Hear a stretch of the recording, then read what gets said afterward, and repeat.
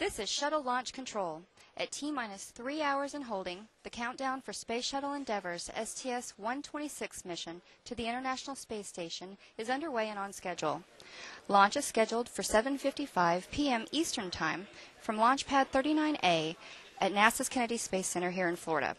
The launch window is about five minutes. Managers and engineers in Fire Room Floor 4 at Launch Control Center are monitoring the countdown. There are currently no issues that are being worked that would delay launch. Countdown began this morning um, with the tanking, which was on time at 10:30 a.m. and was completed at 1:30 p.m. We're now in stable replenish. The external fuel tank was loaded with more than 500,000 gallons of super cold liquid oxygen and hydrogen, which is used by the shuttle's three main engines at liftoff.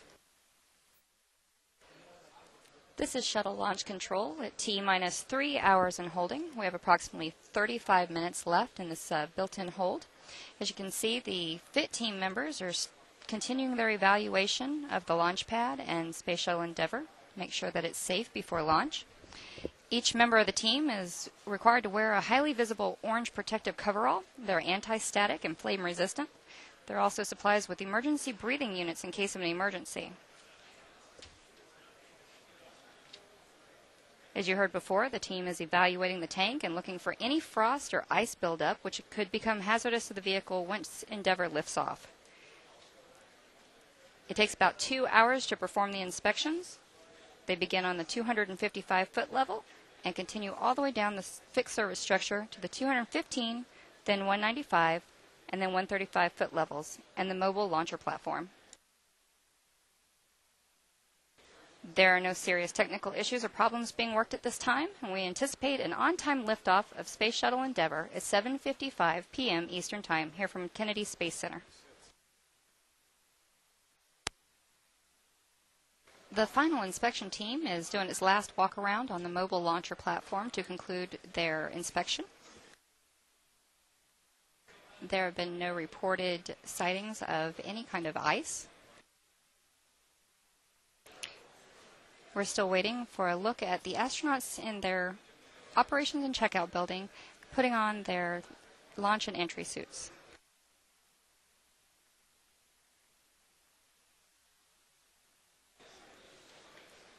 We're at T minus three hours and holding. A little more than 27 minutes left in the hold time, and we are not working any issues that would delay launch.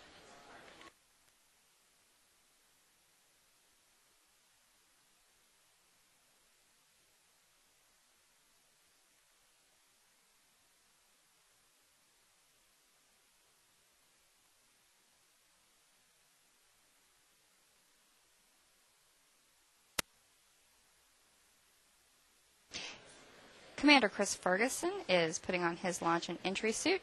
Commander Ferguson is a U.S. Navy captain who was born in Philadelphia. Pilot Eric Boe, a U.S. Air Force colonel. This is his first space flight. He's logged over 4,000 hours in 45 different aircraft. Pilot Boe giving a little wave.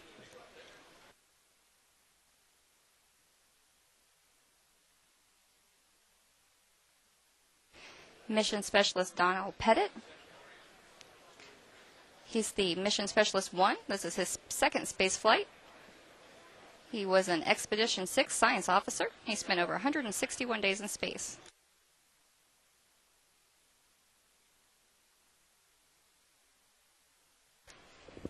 Sandy Magnus. Sandy's a veteran of spaceflight STS 112. She's going to stay on board as the Expedition 18 flight engineer and a science officer.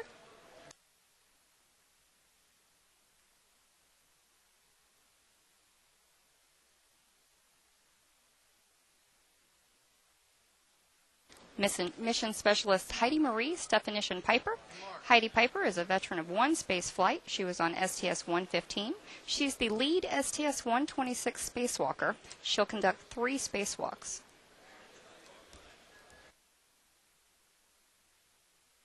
Mission Specialist 4, Army Lieutenant Colonel Shane Kimbrough, served in Operation Desert Storm. This is his first spacewalk, or first space flight, and he will conduct two spacewalks.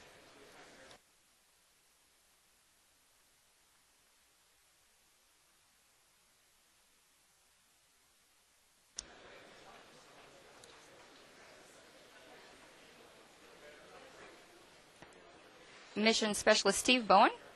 He's Mission Specialist 2, a U.S. Navy captain. This is his first space flight. Putting on his launch and entry suit, he will conduct three spacewalks.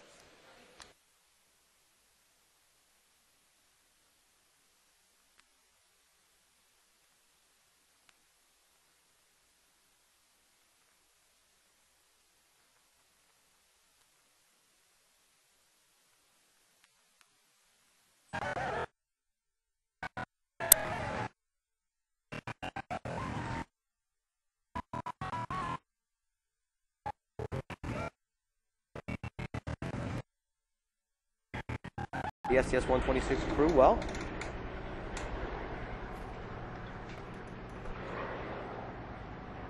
Yeah, so it's past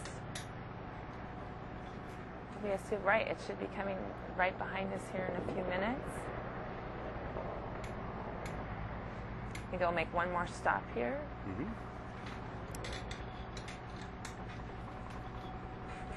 And they're make this stop. They're stopping outside the launch control center. And they're letting off, if I'm not mistaken, the uh, flight surgeons, as a matter of fact? Uh, and I believe also they'll let off our um, Director of Flight Crew Operations, Brent Jett, as well as our uh, Vehicle Integration Test Office Chief, Jerry Ross.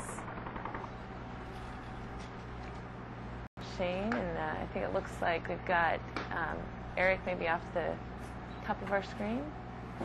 You're doing it. Your, your field of vision in the uh, operation television cameras are much better than mine. I, I saw astronauts. That's, and that is the walkway that we were talking about. Close our crew member going across it first and getting ready. And they had several members of the closeout crew already uh, waiting for the astronauts inside the, the white room.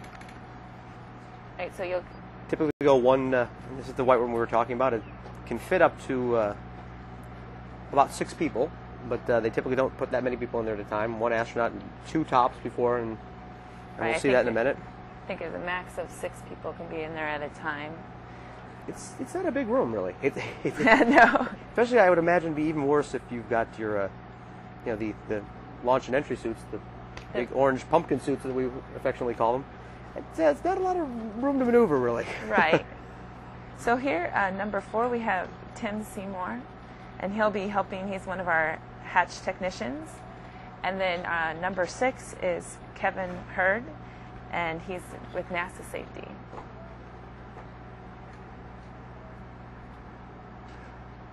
All right, well, we're starting to see the inside of the vehicle.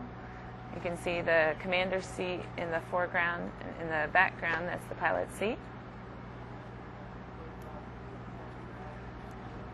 And Gotcha. Drew Billingsley is uh, our number three here. He's one of the suit techs working on the flight deck.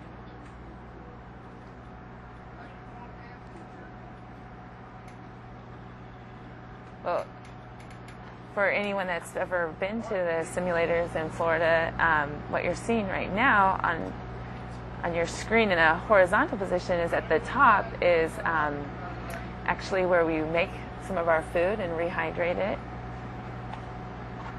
So that's your mid deck area where That's the, our the, mid-deck the, right the, now. Uh, Uh-huh. the, All those- sad to say this most spacious part of the shuttle. It's uh, and that's not that big in and of itself either, especially with the uh, seats in there, which of course you take down after once you get into orbit.